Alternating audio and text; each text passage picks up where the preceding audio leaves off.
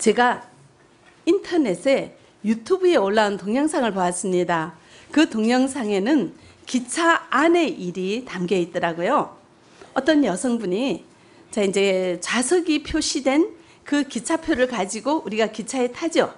기차에 탔는데 그분의 좌석은 복도 쪽에 있는데 이분이 여성분이 자기는 창문 쪽에 앉고 싶은 거예요.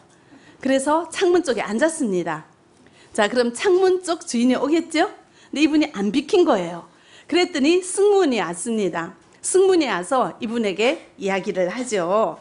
예, 그래서 표를 달라고 해서 좌석이 복도 쪽이잖아요. 이렇게 얘기를 했더니 이 여자분은 창문 쪽에 앉아도 되잖아요. 이제 이렇게 얘기를 해요. 그랬더니 승무원이 누가 앉으라 했어요? 이랬더니 여자분이 차표에 적어놨어요. 이렇게 이제 또 얘기를 해요. 그랬더니 승무원은 이 자리 이 자리 누가 이 자리 당신 자리래요? 하고 했더니 여자분은 누가 내 자리 아니래요? 이제 이렇게 얘기를 하는 승무원이 표에 복도라고 적혀 있잖아요. 얘기를 했더니 여자분은 창문에 앉으면 안 된다고 적혀 있어요. 그 표는 숫자만 있지 창문에 앉으면 안 된다고 적혀 있지 않잖아요. 그죠? 그러니까 내가 당당하게 여기 앉겠다고 앉아 있는 거예요. 자, 기차표에는 분명히 지정된 좌석에 앉으라고 예, 숫자가 있고 표시가 있는데 그래서 우리 모두의 약속이잖아요. 그죠? 그 자리에 앉겠다는 우리의 약속이잖아요. 그런데 이분은 어디 내가 창문 쪽에 앉지 마라고 표에 적어 놨냐고. 그러면서 내가 창문 쪽에 앉을 권리가 있다고 안 일어나는 그런 경우가 동영상에서 보았습니다. 자, 내가 창가에 앉아서 외부 바깥 하늘을 보면서 가고 싶은 내 마음이 내가 좋은 대로 하고 싶은 나의 욕망이 공공 질서를 깨뜨려 버리고 서로 간의 약속을 파괴하는 예, 그런 예, 일을 저희들이 볼 수가 있습니다. 참 이것을 보면서 제가 느낀 것이 야 사람들은 모두가 내가 좋은 대로 살고 싶은 욕망이 있구나. 그죠? 예. 내가 좋은 대로 하고 싶은 욕망이 우리를 지배한다는 것을 보았습니다. 자, 오늘 본문에 이삭이 나옵니다. 이삭에게도 이런 유혹이 찾아왔어요. 이삭에게도. 우리가 이삭 하면 굉장히 믿음 좋은 사람의 대명사잖아요. 그죠? 사실 아브라함이 아버지 아브라함이 칼을 빼들고 재단 위에 있는 이 재물된 이 이삭을 내리칠 때 이삭의 나이가 청년이었어요. 그걸 풀고 일어나서 아버지 왜 이러십니까 할 수도 있는 그런 나이에 가만히 누워 있었잖아요. 그만큼 믿음과 순종의 대명사가 이삭이에요. 그리고 이제 그랄 지방에서 목자 간에 다툼이 있었죠. 우물 가지고. 그럴 때 이삭은 예, 그런 다툼이 있으면 져버리는 거예요. 그리고 또 다른 우물을 파고 또 다투면 또 양보를 하고 또 양보를 할 정도로 예, 참 관용이 많고 사랑이 많은 이런 넉넉한 이삭 예수 그리스도를 예표하는 이삭 믿음 하면 생각나는 이삭이었어요. 그런데 이삭이 오늘 본문에는 우리가 알고 있는 것과는 조금 다른 모습이 보여지고 있습니다. 자, 어떤 모습인지 우리 같이 보도록 하죠. 믿음 좋은 이삭이 늙었어요. 아까 우리가 본문 봤죠. 에서를 맏아들 에서를 축복하고 싶어지는 겁니다. 근데 내가 늙어서 언제 죽을지 모르니까 죽기 전에 우리 아들 장자의 축복을 하자. 마음껏 내가 너를 축복하겠다. 이렇게 얘기를 하는 구절이죠. 우리 같이 읽어보겠습니다. 1절로 4절 말씀 같이 읽어보죠. 이삭이 나이가 많아 눈이 어두워 잘 보지 못하더니 맏아들 에스를 불러 이르되 내 아들아 하매 그가 이르되 내가 여기 있나이다 하니 이삭이 이르되 내가 이제 늙어 어느 날 죽을는지 알지 못하니 그런즉 내 기구 곧 화살통과 활을 가지고 들에 가서 나를 위하여 사냥하여 내가 즐기는 별미를 만들어 내게로 가져와서 먹게 하여 내가 죽기 전에 내 마음껏 내게 축복하게 하라. 아멘.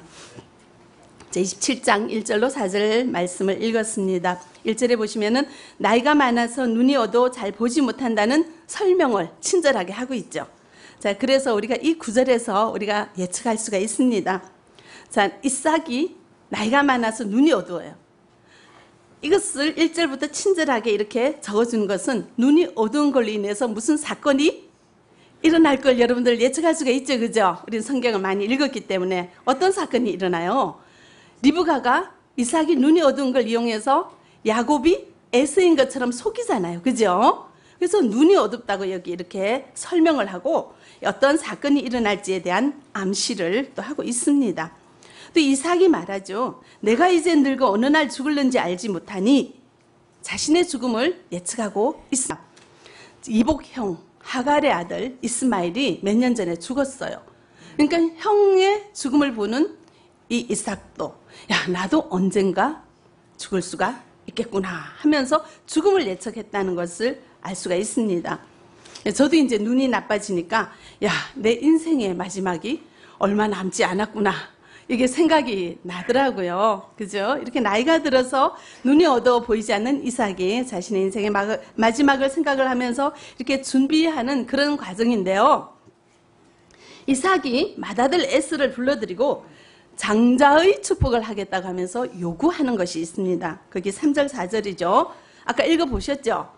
예, 내 기구 화살통과 활을 가지고 들어와서 나를 위하여 사냥해서 내가 즐기는 별미를 만들어서 먹게 하라. 그러면 내가 내게 축복하리라. 이제 이런 얘기를 하는데요. 여기에서 즐기는 이란 단어는 히브리어로 자, 히브리어라는 것은 이스라엘의 말을 히브리어라 그래요. 예, 그래서 이 히브리어로 아하브란 단어인데 이것이 우리는 즐기는 이라고 해석을 했는데 원래의 뜻이 애착을 갖고 있는 이란 뜻이에요. 그냥 즐기는 것이 아니라 애착. 그 남다른 그 집착이 있다는 거죠. 그죠? 그 에사, 에스가 만들어주는 그것을 이삭이 그냥 좋아하는 게 아니라 애착을 그냥 너무 먹고 싶어. 어, 나 그거 언제쯤 먹을 수 있을까? 막 이렇게 이렇게 설레이면서 기다리는 그런 음식을 에스가 만들어줬어요. 원래 이제 가축 음식은 가축은 집에서 기르는 것보다 야생 동물이 어때요? 맛있죠. 에스가 그걸 가져오잖아요. 사냥을 잘하니까. 그 산에들의 마음껏 뛰어다니는 그 야생 동물을 잡아가지고 와서 음식을 만드니까 다른 사람이 흉내낼 수 없는 그런 맛이 나오잖아요. 그러니까 이삭은 이 에서의 이 별미를 먹고 싶은 마음이 그냥 있어요. 그래서 그 갖고 와라. 내가 너를 축복하리라. 이것을 통해서 우리가 알 수 있는 것은 이삭이 에서를 참 좋아하는 거예요. 남자답고 호탕하고 사냥도 잘하고 그 리더십도 있고 뭐 그냥 아주 좋잖아요. 근데 야곱은 어때요? 얌전해요. 집에서 엄마랑 같이 있는 거 좋아해요. 그렇게 에서는 좀 나, 아, 이삭은 남자다운 에서가 좋은 거예요. 그런 에서에게 이삭이 이렇게 장자의 축복을 해주겠다고 얘기를 합니다. 자, 우리가 오늘 읽은 이 본문에서 뭐 틀린 게 있어요? 에서, 이삭이 에스를 축복하는데 뭐 잘못된 게 있습니까? 장자잖아요. 맏아들이잖아요.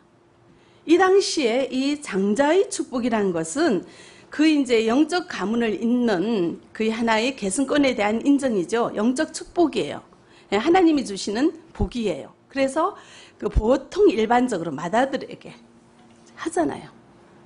그러니까 이삭이 에서에게 축복을 하는 게 뭐가 그리 뭐 틀린 일인가 생각을 할 수가 있는데 얼른 생각하면 맞습니다. 근데 이것이 맞지가 않아요. 틀렸어요. 이삭이 에서에게 장자의 축복을 한다는 건 틀렸어요. 왜 그럴까요? 에서가 야곱이 태어날 때 하나님이 뭐라고 했습니까? 그 성경 구절 볼까요? 창세기 25장 23절 우리 같이 보겠습니다. 같이 읽어보죠. 여호와께서 그에게 이르시되 내 태중에 있구나 두 민족이 내 복중에서부터 나누이리라 이 족속이 저 족속보다 강하겠고 큰 자가 어린 자를 섬기리라 하셨더라 아멘. 그래서 큰 자는 먼저 나온 에서고 어린 자는 야곱이에요. 그래서 하나님께서 이렇게 말씀하시는 것은 누가 장자의 축복을 받아야 된다는 거냐면은 야곱이에요. 에서와 야곱이 태어날 때 하나님께서는 야곱이 장자의 축복을 받아야 되고 장자로 계승을 해야 된다는 것을 이렇게 분명히 말씀을 하셨어요. 이삭이 이것을 잊어버렸겠어요? 알고 있죠. 알고 있죠. 하나님이 누구를 장자로 세우시는가 알고 있는 거예요. 리브가 다 알고 있고 이삭도 알고 있는 거예요. 그런데 이삭은 이 하나님의 말씀대로 해요. 아니면은 내가 좋아하는 에서를 하려고 해요. 하나님 말씀은 이렇게 슬 그리고 내가 좋아하는 어우 내 입에 구미에 딱 맞는 음식을 그 애착이 가는 정말 정말 먹고 싶은 그 음식을 잘 만들어주는 애써 그리고 내 마음에 들고 호탕하고 남자답고 용맹스럽고 어디 가나 그냥 혼한 우리 아들을 이 가문의 장자로 내가 축복을 할 거야 내가 좋은 대로 할 거라는 거죠 하나님이 하신 말씀은 관심이 없었어요 이삭은 얼마나 믿음 좋은 사람입니까? 그러니까 자기 스스로도 아, 나는 믿음 좋은 사람이야. 아브라함의 하나님, 이삭의 하나님. 수천 년 동안 얼마나 많은 백성들이 이 하나님을 부를 때 아브라함의 하나님, 이삭의 하나님이라 부를 정도로 믿음 좋은 사람인데 이 내가 믿음 좋다는 이 마음이 이삭에게 어느덧 야, 나 이렇게 믿음 좋은 사람이니까 내가 하고 싶은 대로 해도 돼. 내가 하는 것이 맞는 거야. 하나님의 말씀보다 내가 좋아하는 것이 우위에 있게 되어버렸습니다. 어떻습니까? 잘한 거예요? 못한 거예요? 못한 거죠. 하나님 앞에 큰 실수를 한 것입니다. 이삭은 에스를 축복하고자 했지만 나중엔 결국은 누가 축복을 받게 됩니까? 야곱이 축복을 받게 되는 거죠. 자, 우리는 어떤가요? 신나 초신자일 때는 어느 것이 하나님의 뜻인지 잘 구별을 못 해가지고 아주 순수한 마음으로 애기같이 하나님 열심히 하겠습니다 이러는데요. 신앙생활을 좀 할수록 이삭도 그랬잖아. 신앙생활이 얼마나 여정이 이제 늙었어. 임종을 앞두고 마지막에 가니까 이 신앙생활에 관성이 붙어버리는 거예요. 아, 이것이 하나님 말씀인가 두렵고 떨림으로 바라보지 않고 내가 하는 건 맞아. 나 믿음 좋은 사람이야. 내가 하는 관성대로 내가 좋아하는 것이 선이다. 내가 생각하는 것이 맞다, 옳다. 나는 무조건 옳아. 이런 영적 교만이 어느덧 자리 잡게 되는 것을 알 수가 있습니다. 그래서 나도 모르게 세상의 유혹에 끌려가면서도 아니야 이게 하나님 앞에 바른 거야 변명하고 합리화하고 핑계하는 우리의 모습이 있지는 않는지 여러분들 돌아볼 수 있기를 바랍니다. 막 가까운 예를 하나 들면 사역반을 하겠다고 하나님 앞에 처음에 모였잖아요. 그것은 하나님 앞에 우리가 약속한 거예요. 그런데 하나님은 무엇을 좋아합니까? 끝까지 하기를 원하시죠. 그런데 결혼식이 있다, 뭐가 있다, 그냥 한 번씩 가다 보면 또 결혼식에 가면은 또 특히 남자분들도 그렇고 여자분들도 그렇고 한 잔, 두 잔 하시잖아요. 그럼 그냥 알딸딸 하니까 좋아가지고 그냥 이제 사역반 깡그리 다 잊어버리고 그냥 뭐 오는 것도 잊어버리고 그러면서 생각해요. 내가 가족들도 만나고 이 일도 많은데 이걸 내가 다 제쳐두고 내가 교회만 가야 되는가? 나 사역반 끝까지 할까 모르겠다 고민하면서 갈등하면서 내가 좋아하는 달콤한 세상의 것을 향해서 나도 모르게 끌려갈 때가 있지는 않는지 여러분들 돌아보시기 바랍니다. 집사 임명 받을 때 하나님 앞에 약속해요. 제가 묻잖아요. 주일 성수 열심히 하겠습니까? 아멘 하시더라고요. 사람들 앞에 공공연하게 약속하는 거예요. 하나님 앞에 약속하는 거예요. 하나님의 말씀은 약속한 것은 지켜라 입니다. 그래서 내가 주님 앞에 또 물어보죠. 죽도록 충성하겠습니까? 아멘. 약속 다 해놓고는요. 1년을 지키기가 어려워요. 1년을 지키기가 어려워요. 세상의 달콤한 것에 내가 좋아하는 것에 끌려가지고 살살살살살살 가다 보면 아유 한국에 돈 벌러 하지 뭐하러 그렇게 예배 교회 매여가지고 그렇게 열심히 신앙생활 하는가 우리 한중 사람이 정말 힘들어 조금 편한 교회 갈 수 없을까 예 그러면서 나도 모르게 이렇게 쉽게 신앙생활 할 수 있도록 꾀를 내게 되고요 그런 사탄의 마귀의 유혹에 쉽게 끌려가서 자신을 정당화하고 야 저렇게 할 필요 없어. 결정을 해버리는 그것이 맞다는 거예요. 그것이 맞다는 거예요. 어떤 분은 그래요. 중국에서 신앙생활 하던 분은 한국에서는 신앙생활 안 해도 된다고. 한국에 돈 벌러 왔지 왜 교회를 다니냐고. 그렇게까지 자신을 합리화하는 분들도 계세요. 하나님이 어디에 중국에서만 신앙생활하고 한국에서는 신앙생활 안 한다고 성경에 적어놓은 곳이 어디 있습니까? 안식일을 기억하여 거룩히 지켜라. 몸과 마음과 뜻을 다하여 주 너의 하나님을 사랑하라. 어디 하나님을 둘째라고 돈만 벌으라고 먼저 그의 나라와 그의 의를 구하라고 했지. 돈부터 벌라고 한 성경 구절이 어디에 있어요? 그런데도 그것을 싹 바꿔가지고 자기를 합리화하고 변명하고 핑계하면서 내가 맞다는 거예요. 내가 맞다는 거예요. 여러분들 그러고 있지는 않는지 돌아보는 은혜가 있기를 바랍니다. 교회 내에서도 사소한 일로 좀 불평하고 이렇게 다툼이 있어요. 근데 하나님은 뭐라고 하십니까? 화목하라. 용납하라. 서로 사랑하라 하잖아요. 근데 그 단어는 싹 제껴놓고 내가 맞다는 걸 공공연하게 인정받으려고 더 얘기하고 전화하고 따지고 누가 맞는지 보려고 끝까지 한번 시도해 보는 건 없습니까? 내가 옳다는 걸 증명하기 위해서 하나님 말씀은 귓등에도 없어요. 자, 이삭은 하나님의 말씀이 야곱을 축복하라고 했는데 그 말씀은 다 잊어버리고 별미를 가져오는 에스에게 꽂혀버렸어요. 이것이 관성으로 신앙생활 하는 자의 하나의 허물일 수가 있다는 것입니다. 여러분들은 어떤지, 나는 어떤지 돌아보는 은혜가 있기를 바랍니다. 신약 성경에는 이렇게 신앙생활 하는 사람들이 또 있어요. 바리새인이죠. 성경이 아닌 다른 것을 성경 말씀보다 위에 놓고 그것이 맞다라고 하잖아요. 바리새인이 그런 거죠. 바리새인은 장로들의 유전과 전통을 중시했습니다. 자, 성경 말씀은 율법인데요. 이 당시에 성경 말씀은 이렇게 기록되어서 문자로 되어 있었고 장로들의 유전과 이 전통이라는 것은 예, 모세 시대부터 구전되어 왔어요. 말로 내려왔습니다. 그런데 이제 시대 시대마다 필요한 게 있잖아요.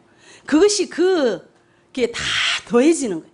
그러니까 수천 년 내려오니까 이 장로들의 유전이라는 것이 지킬 것이 너무 많아요. 근데 이걸 다 지켜야 된대요. 근데 이것이 이것이 하나님 말씀과 서로 이렇게 상반되면 이 사람들은 뭘 지켜야 된다고 생각하냐면은 유전을 지켜야 된다고 생각해요.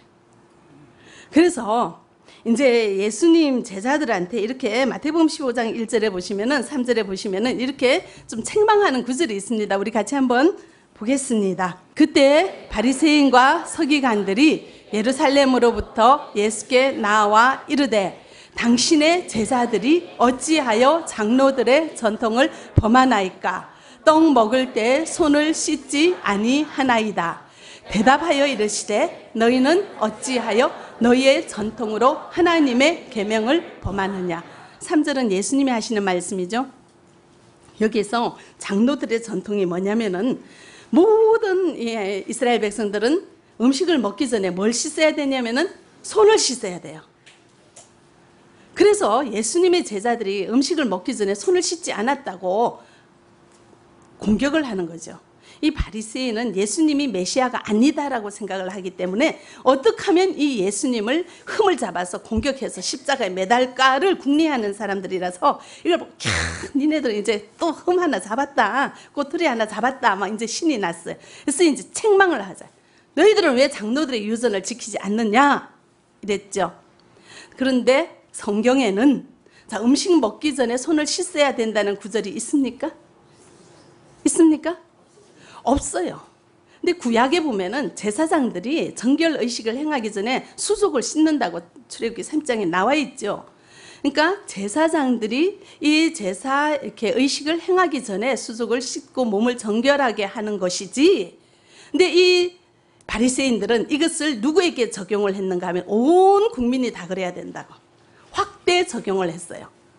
자기네들이 생각할 때 이스라엘은 먼지가 많고 사막이 많고 다닐 때 손발에 먼지가 많으니까 먹기 전에는 반드시 손을 씻어야 된다는 것을 유전에 하나 추가를 했어요. 그거는 성경보다 더 먼저 지켜야 되는 거예요. 손을 씻는 거. 그러니까 예수님이 너희들은 왜 그런 것을 하나님 계명보다 더 우선시하느냐? 자, 우리는 무엇을 우선시해야 됩니까? 하나님의 말씀을 우선시해야 되는데 우리가 살아온 관습대로 그것을 하나님 말씀보다 더 중시하면서 너희들은 왜 이렇게 하지 않느냐 하면서 공격하고 비판할 때는 없는지 돌아보는 은혜가 있기를 바랍니다. 음. 자, 이렇게 우리 세상 사람들은 내 중심으로 내가 좋은 대로 살아가고 있습니다. 아까 동영상에도 내가 창문에 앉고 싶으면 그냥 창문에 앉는 거예요. 그 창문에 앉는 것을 정당화하기 위해서 표에 그렇게 창문에 앉지 말라고 적어 놨냐고. 이렇게까지 자기 논리를 대는 거죠. 그러니까 기가 차서 할 말이 없잖아요. 세상 사람들이 서로 다투고 갈등하는 거 보면 어느 입장에서 보면 기가 차서 할 말이 없어요. 다 내 입장에서 맞다는. 내 입장에서 내 논리로 논리를 펴면서 상대방을 공격하고 서로 공격하고 나만 맞다, 나만 옳다. 그래서 세상에서는 다툼과 분쟁이 끊어지지 않는데 우리는 예수를 믿는다 하면서 나 좋은 대로 살아가는 이 옛사람의 습관을 버리지 않고 신앙생활이라는 것을 교회에서 하면서 교회라는 공동체 안에서 이제 시간이 오래 가면서 오래 가면 이 옛사람의 습관을 버리지 않고 이렇게 살아가면은요. 이 옛사람의 습관을 버리지 않고 오래 신앙생활 하는 사람들이 많을수록 그 교회라는 공동체는 화목할까요? 시끄러울까요? 시끄러워요. 시끄러워요. 지금 한국교회에서 너무나 많은 문제가 일어나는데 이것은 그래서 그렇습니다. 옛사람의 습관을 버리지 않고 말씀을 머리로만 알기 때문에 나한테 적용하지 않고 그 말씀을 가지고 상대방을 비판하고 비난하고 판단하는데 정죄하는데 쓰기 때문에 교회에서 사람들이 많이 모일수록 많이 시끄럽고 그렇다는 이 현상을 우리가 똑바로 바라볼 수 있기를 바랍니다. 초신자들은 시끄럽게 못해요. 새로우니까 낯서니까 자기가 갓난아기인 거 알기 때문에 절대로 초신자들이 별로 말썽을 일으키진 않아요. 근데 오래 신앙생활 하시는 분들이 내가 맞다는 거예요. 내가 생각하는 게 맞다는 거예요. 교회에서 이렇게 해왔다는 거예요. 하나님 말씀보다 내가 살아온 습관이 위에 있고 하나님 말씀보다 내가 생각하는 게 맞다고 생각하는 그 교만으로 인해서 큰 높은 자리에 올라갈 때마다 그런 분들이 교회의 걸림돌이 되어서 교회 문을 지키고 있고 은혜를 차단하고 있다는 것을 여러분들은 기억할 수 있기를 바랍니다. 자, 이것이 영적 교만이죠. 내가 모든 것의 기준이 되고 내가 생각하는 게 기준이고 내가 살아온 습관이 기준이고 내가 좋아하는 것이 기준이 이삭이 그랬잖아요. 내가 좋아하는 별미를 가져오는 이 아들에게 내가 장자의 축복을 주리라. 내가 좋아하는 게 답이에요. 맞는 거예요. 이렇게 살아가는 성도가 되어서는 안 되는 거예요. 그러므로 우리를 날마다 돌아보면서 내가 어떤 과거가 있는지 착오가 있는지 허물이 있는지 돌아보는 은혜가 있기를 바랍니다. 저는 이제 설교를 하면서 제 자신을 저는 이제 이삭이 하는 거 보고 되게 찔림이 있더라고요. 우리 목사님들이 잘, 잘 그럴 수가 있어요. 솔직히 얘기하면. 그리고 제가 신대원에 처음에 입학했을 때 이제 대학교를 마치고 집에서 이제 주부로 있다가 소명을 받아서 신학대학원 1학년에 들어갔을 때 주부였잖아요. 아들을 뒤로 하고 중학교 고등학생을 내가 엄마가 보살펴야 되는데 그걸 뒤로 하고 가정 내가 모든 세상 일을 다 뒤로 하고 나 정말 하나님만 섬기겠습니다. 이런 결단으로 신대원을 들어갔더니 그 당시에 내 마음이 어떠냐. 내가 최고 믿음 좋은 사람이라는 생각이 들었어요. 나 정말 굉장히 대단해. 내가 이런 세상의 일을 다 정말 뒤로 하고 그물을 버려두고 나를 쫓으라는 그 말씀대로 베드로에게 주신 말씀대로 나는 인생이란 세상이란 그물을 다 버려두고 내가 신학교에 왔으니까 나보다 더 믿음 좋은 사람이 있으면 나보라 그래. 저한테 그런 마음이 있었어요. 그리고 다른 사람들이 다 눈아래로 보여. 저 사람은 저렇게 해서는 안 되지. 아, 저 사람 형편없어. 저래가지고 뭘 한다고 그러지? 속으로 생각하고 판단하고 정죄하면서 나만 맞다고 생각해. 그러면서 저 자신을 돌아보자. 나는 최고로 거룩한 사람이야. 나는 부족함이 없는 사람이야. 허물이 없어요. 사람이 나한테 뭐 사람들이 왜 뭐 신대 났으니까 뭐가 뜹니까 얘기하면 뭐 내가 잘한 일은 내 정말 청산유수처럼 내가 얼마나 전도를 많이 했고 막 이런 일 쏟아져 나오는데 내한테 있는 허물이나 내가 지금 얼마나 죄인인가에 대한 생각이 나지를 않는 거예요. 생각이 안 나. 내가 부족한 것이 생각이 안 나는 거예요. 자, 내가 부족하고 죄인이고 허물 많은 것이 생각이 안 나는 것은 이거는 심각한 질병이죠. 여러분들은 어떠세요?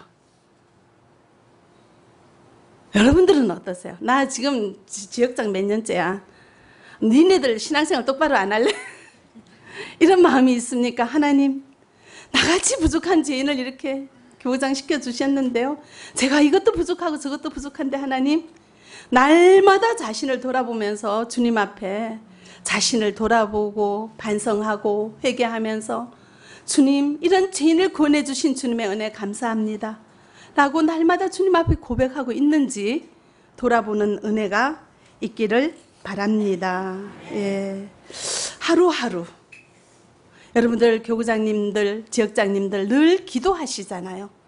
기도하실 때 빼놓지 말아야 되는 것은 내가 얼마나 죄인인가를 늘 고백하시고 자 죄인이라고는 추상적으로 말만 하지 마시고 24시간 동안에 내 마음속에 있었던 교만함 내 마음속에 나도 모르게 다른 사람을 판단했던 예, 정죄 비판하고 비난하고 예, 험담하고 미워하고 시기했던 그런 악한 것들을 요만한 거라도 여러분들 다 내어놓고 주님 앞에 고백하고 기도하는 우리가 되어지기를 바랍니다.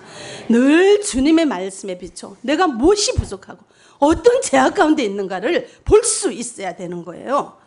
그렇지 않으면은 이삭과 같이 내가 뭘 잘못 하는지도 몰라요.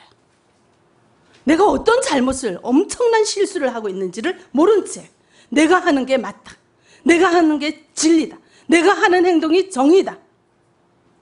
그렇게 해서 에서에게 축복을 하면 하나님의 계획이 엉그러지는 거예요. 하나님은 뭐 그렇게 두진 않았지만 또한 또 조금 이상한 방법으로 야곱을 축복하긴 했지만 하나님은 하나님 나라의 일을 이루어 가십니다. 그러나 그 가운데 내가 바로 쓰임 받는 자가 되어야 한다는 것을 기억하시기 바랍니다. 교만하지 마시고요. 날마다 주님 앞에 말랑말랑한 옥토밭이 되어서 나의 부족함이 무엇인지 개선해야 될 것이 무엇인지 주님 앞에 고백해야 될 허물이 무엇인지 날마다 생각하는 저희들이 되었으면 좋겠습니다.